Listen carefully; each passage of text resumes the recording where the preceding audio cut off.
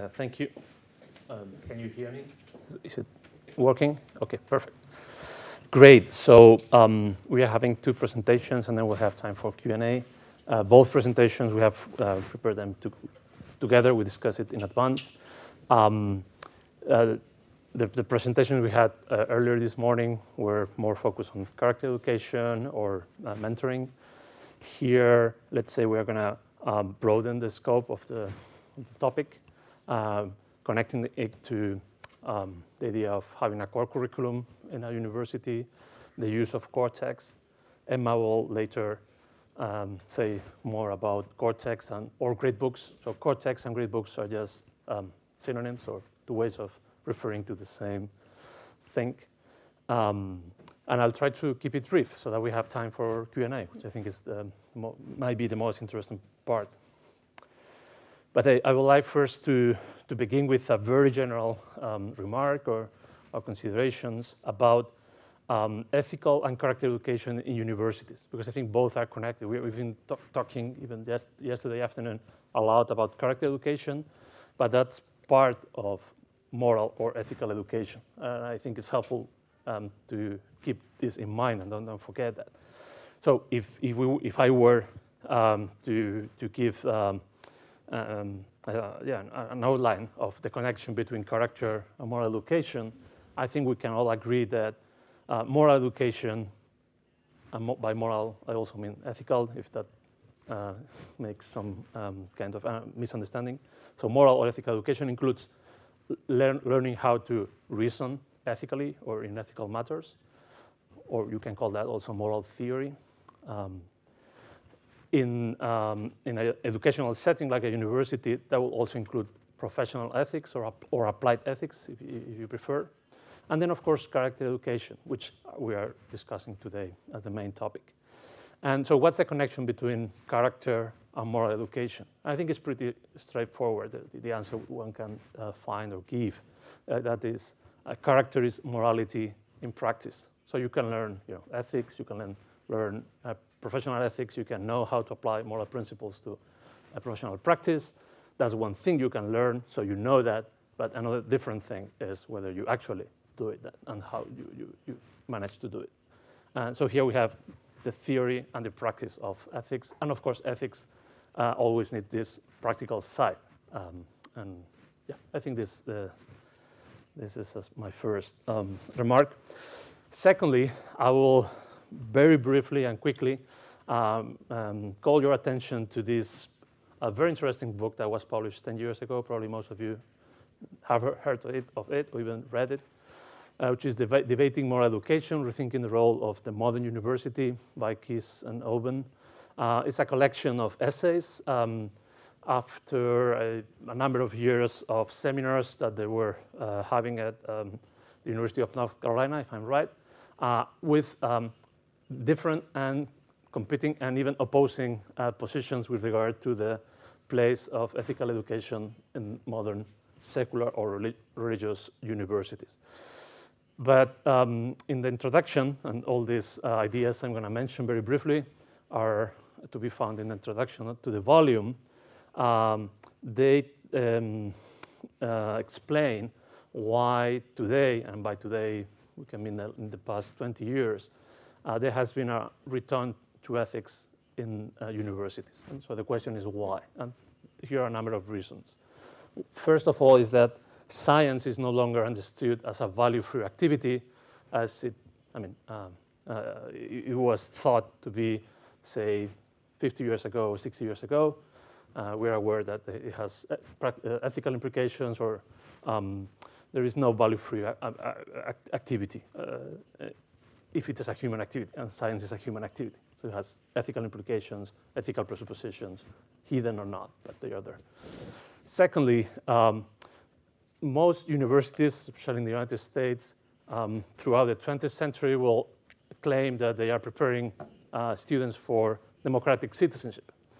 But the, the interesting thing is that in the past 30 to 50 years, the question of uh, what does democracy mean today um, has uh, arisen. So we need to discuss that. uh, in order to uh, prepare citizens for democracy. So there is the, the, the, question, the question is open.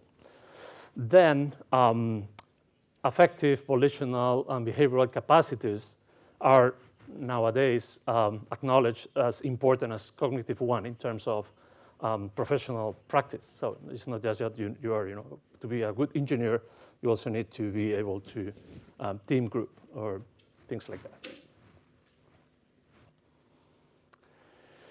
Um, also, uh, um, uh, programs um, like service learning have become very popular, and that all, of course, has you know, um, this um, ethical dimension embedded in, in them. Um, and also more relevant to what we're discussing here today is that we have become more aware of the performative dimensions of teaching. Um, and I will only mention one, is that, which is that teachers, willingly or not, are role models. So we have an impact on the students. Um, and we need to reflect on that. So that, that's why we need to at least give space to ethical um, reflection. And then, uh, and in connection to this uh, last point I just mentioned, is that it seems that we need to find a kind of middle ground between uh, moral indoctrination um, and value neutrality. So value neutrality is not possible, so it's not real, actually, and I will mention that later right away. Um, institutions have always uh, an agenda, even if it's hidden, so there is no value neutrality in institutions nor in teaching. But of course, I mean, when you talk about ethical teaching and character education, a risk is um, transforming that or, or going uh, towards the way of indoctrination uh, that does not respect freedom or think th those kinds of problems which are unethical. So here we have again the problem. And so finally, um, nowadays, and Ed Brooks um, mentioned that also in his presentation, spirituality and religion are, uh, uh, I don't know whether in this country yet, but in other countries for sure, and I think here it will come too, as spirituality and religion are acknowledged as part of moral education or, or, or, at least of what is important for students. And if it is important for students and we care about students, um, then we need to take that into account. And of course, um, at least, the, I mean, in the, the main uh, religious traditions, uh, they, they all have an ethical um, element or, or, content or principles.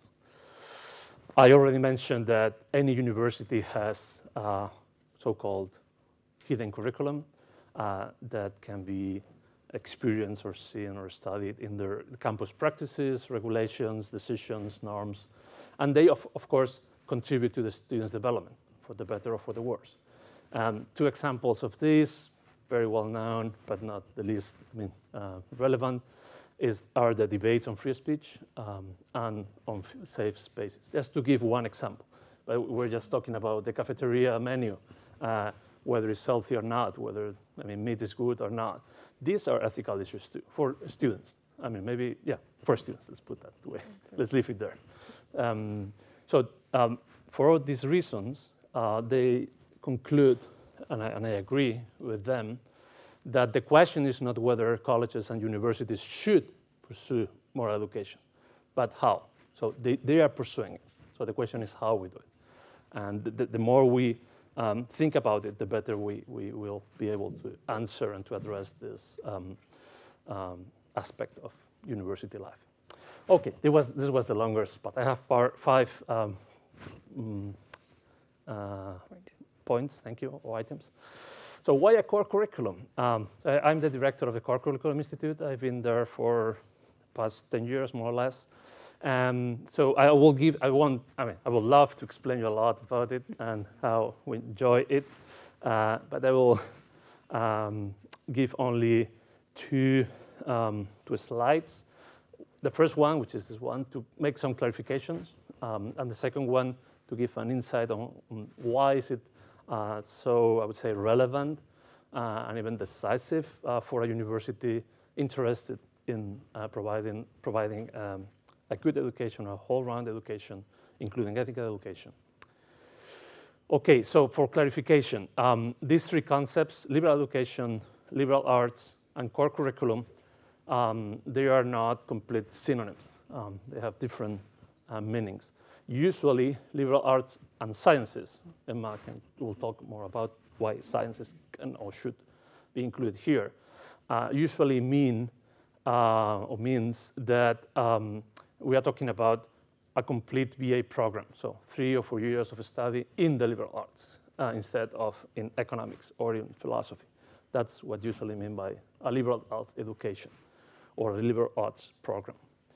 Um, when we talk about or use the word core curriculum, uh, most commonly that means that we have a professional BA program, say a degree in business administration, a degree in engineering, a degree in philosophy, where there is, for instance, one year or half a year or two years of core curriculum or common curriculum, uh, required courses for any student regardless of uh, his or her major. And this curriculum is um, mostly based in the humanities, but also in science. We can get to, it, to that later. Okay, that was the first um, clarification I think I needed to make. And the second one is, so what do we understand by liberal education? Um, because that's, that's also tricky, interesting, and complicated. And my, my position in this is that there is no one definition on what liberal education is. But if I were to give one, which I need to do, um, I would say that these two um, uh, definitions will help us to, um, to understand what liberal education is. First, it's a kind of education where knowledge is valued not only for its usefulness, but as an, as an end in itself. This sounds highly theoretical, highly philosophical, but that's what it is. So, if, if, um, uh, and secondly, and think it's more, this is more practical, is that um, it's a kind of education that provides not only professional training, but also education of the whole person. And here comes what's relevant for our discussion, including both intellectual and moral formation. So the second part, the moral formation, is what uh, we have become aware or more aware in the, in the past years. Um, and I think that's um, relevant and interesting and worth um, pursuing and discussing. Okay, and then about the, so why a core curriculum? What does it add to education? Why is it so uh, relevant? And um, later I'll, I'll, talk why is it so uncommon in uh, the Spanish-speaking countries, so I mean Latin America. Um, so why is it relevant? Why is it uh, valuable? First, because I mean, through a core curriculum, you help students to, um, um, or you introduce students in the uh, intellectual and cultural tradition, uh, which I would say that's the end of education, um, if education has an end. Um, secondly, and this is kind of reply to common um, criticism, is that so in a core curriculum, you, you are not just uh, providing information on the history of art, the history of philosophy, who was Socrates, um, etc., but you are trying to create a context for a context of learning for life. And this, I mean, I have colleague, colleagues that do not agree with that. They say, I mean, if you are teaching, you are teaching, and if you are um, uh, trying to help students learn about life, that's something else, like in coaching or in mentoring. And I, I disagree with that. So I, I think uh, there are courses in the university. I do teach some of them where, I mean, my objective is, is teaching them the history of ethics or whatever. But in a core curriculum course, um, of course, you are teaching um, authors and texts and the tradition. But it should be, should include or it should help students, or it should, yeah, it should um, help create a context where students can learn about um, how to live. Okay, and then another common criticism is that yeah, fine, but you know, in one year, tops, um, uh, having six courses, one in philosophy, one in art, one in science, uh, that, these are just introductions. Um, and in a sense, they are, for sure. You are not majoring in, in, in each of these uh, subjects or area. But a good core curriculum program and a good, good core curriculum course should not just be an introduction. And what do I mean by this? Um, by this, I mean that you need excellent professors. So TAs are not um, the best option for uh, teaching a core curriculum. Um, uh, sadly, that's the case in most universities, at least as far as I know in the States, that these courses are you know, given to those who are beginning, but not full professors. Um, I think that's, that's a huge mistake because you need, I mean, people who have experience, who have science, and who are capable of uh, going directly to the relevant questions and issues of the topic and helping students see them. Of course, you are not covering you know, the whole uh, area, but you open up it so that the student can later on, um, by he him or herself, um, understand it. And then finally, so we all like this word, Socratic method. Uh, and we would, you know, um, speak about it for um, whole day. Uh, of course, that's the method that we all need. I won't say anything else, um, only that there are different ways of understanding that, and it's worth discussing. But um, I, will leave it there because we don't have much time. So, uh, moving forward, I will say a couple of ideas about the Great Books program we have at the University of Navarra. Um, very briefly, one is that it is quite new, now it's seven years old, but already established. So by now, we, each school, any student can take the Great Books program. Um, that means that they can take four semesters in um, uh, seminars of um, great books. Um, another um, thing I wanted to mention is that from the very beginning, we were lucky to find and, and collaborate and learn and benefit from uh, the Association for Core Texts and Courses. And wh why do I mean this? Not just because we are grateful, um, but because I think this is crucial. I mean, if you are beginning this kind of program, you need to partner with other institutions that uh, are doing this, and or associations in this case. So right now we have 700 students at the university um, enrolled in the Great Books program, and that's about, that means that, yeah, around 15% um, of each class do choose it. So in, in our case, the Great Books program is elective, not as in other universities like Columbia, where it's compulsory. I would say that for our context, um, which I, I, will refer to right now, so of Napoleonic or French tradition of education, making it elective it's the, the, the, the right choice uh, because otherwise I don't see it working, at least for the time being. Okay, then, um, so briefly, uh, uh, we all know, um, I mean, if we know a little bit about the history of the university, that there are four, three or four traditions of uh, higher education. Um, the, the, British one, in, um, won't get into them, of course, um, the German, uh, um, the French, and then the American, which is a kind of combination of the German and the uh, British. Uh, Spain, Italy, Portugal, and Latin America belong to the Napoleonic, and by Napoleon I mean because it was Napoleon who you know, designed the whole thing, um, tradition of education. What is its main feature? That universities for professional training, even for uh, the training of civil servants, that was in the origin, how, how it started. So that's fine in a sense, but terrible for the purpose you know, of um, having a core curriculum, making the case for a core curriculum. But, um, uh, and, and, for instance, a common uh, criticism is, is that uh, this is an American thing. They do that in the States, but they are so different. Why do we need to do this, or having a great books course? Um, and it's true that uh, our students, when they get to the university, they are not used to uh, seminar-based courses, so discussion or writing papers, and that's a challenge. It's a challenge, but at the same time, it's an opportunity because they, they do learn some things that are really important for the education. Um, so what, what uh, finally, uh, which are the results uh, we, we, uh, we have after seven years? Um, first is that I, I mean, we, we have helped students to read and teach them how to read um, also how to build arguments in writing and speaking, and then how to dialogue in the class, I mean, a meaningful dialogue. We have um, uh, made some um, assessment, and the, the, the, outcomes are positive.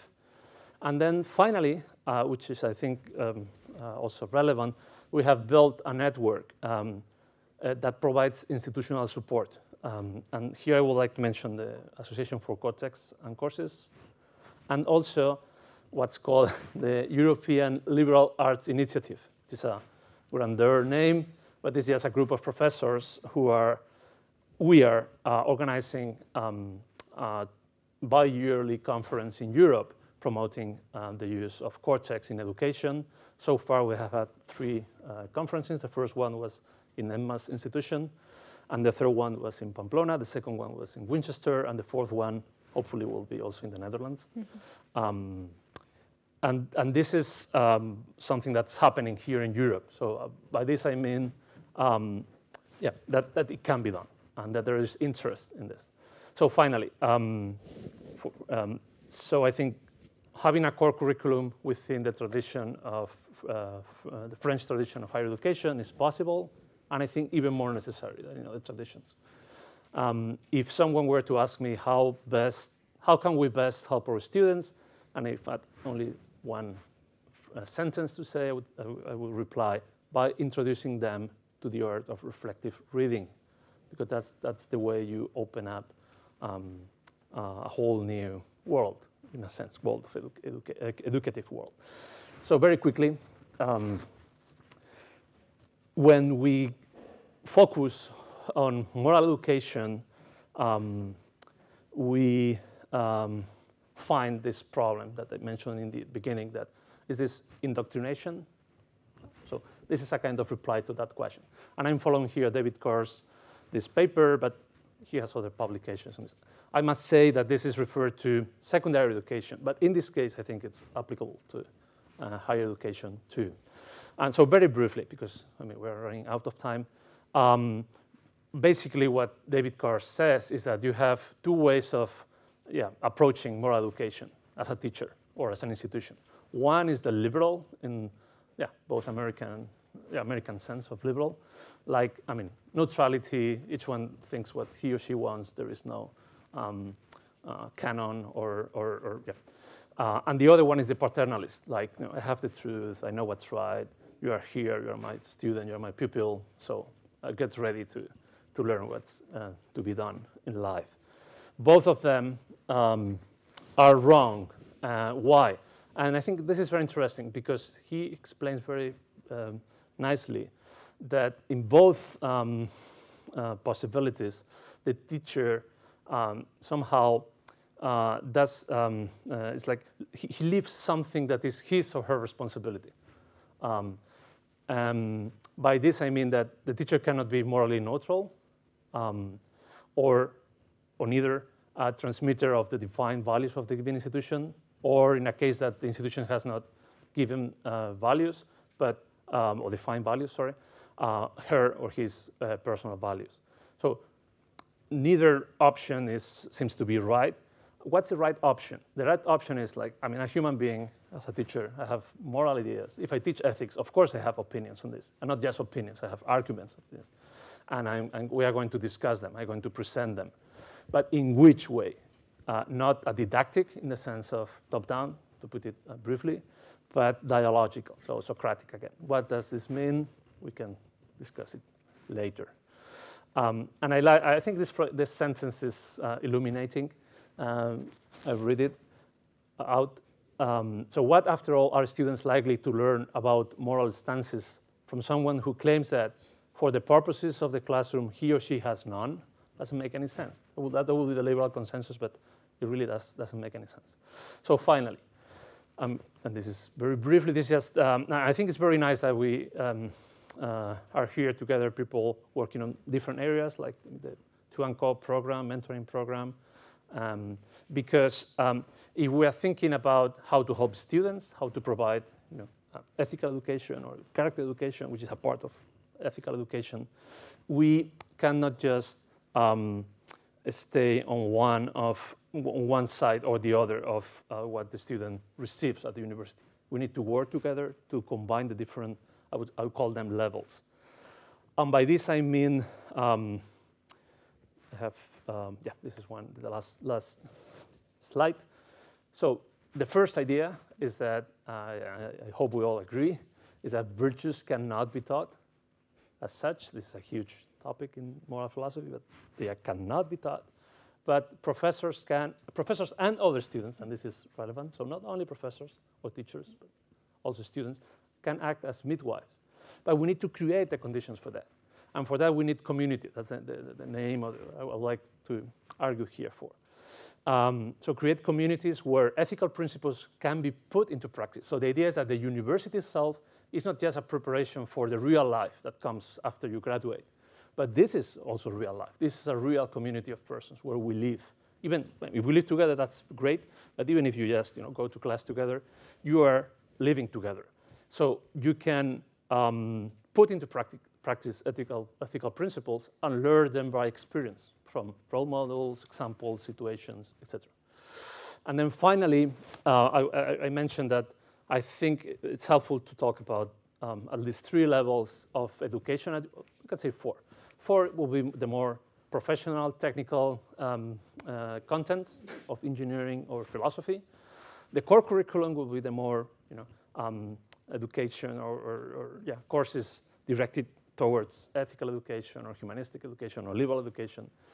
Then we have extracurricular activities, which are not for credit, which are free, and these are essential because they help create this community. You are in a, in a setting where you know you may, yeah, you know, the professor is not giving you a grade, etc.